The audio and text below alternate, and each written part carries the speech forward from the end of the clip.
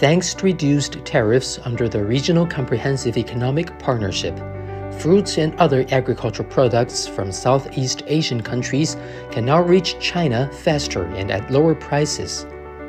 The RCEP, the world's largest free trade deal, comprising 10 association of Southeast Asian nations countries, as well as China, Japan, the Republic of Korea, Australia, and New Zealand, entered into force on January 1, 2022. In 2022, Vietnamese passion fruit and durian were allowed to enter the Chinese market. A company in Vietnam, which is mainly engaged in planting and processing durian and other fruits, has expanded its production, signed a new contract for 3,000 hectares of durian orchards, and built new factories. 一店如果光加工榴莲的，呃，就是 我们第一条呃第一条生产线，我们可以做到二十四吨。现在我们都呃搬回新的工厂，所以呢，要求的我们肯定能达到，没问题。South China's Guangxi Zhuang Autonomous Region has become an important window for exchanges and cooperation between China and ASEAN countries.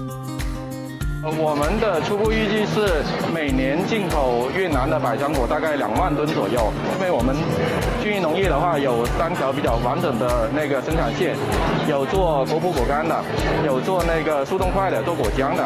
我们每年有百分之九十的原材料来自泰国、越南、印尼等东盟国家。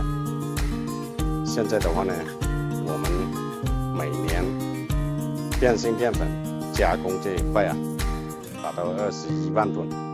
我们的产品有百分之十五是出口的，除了东南亚，还有日韩、俄罗斯、美国、欧洲等。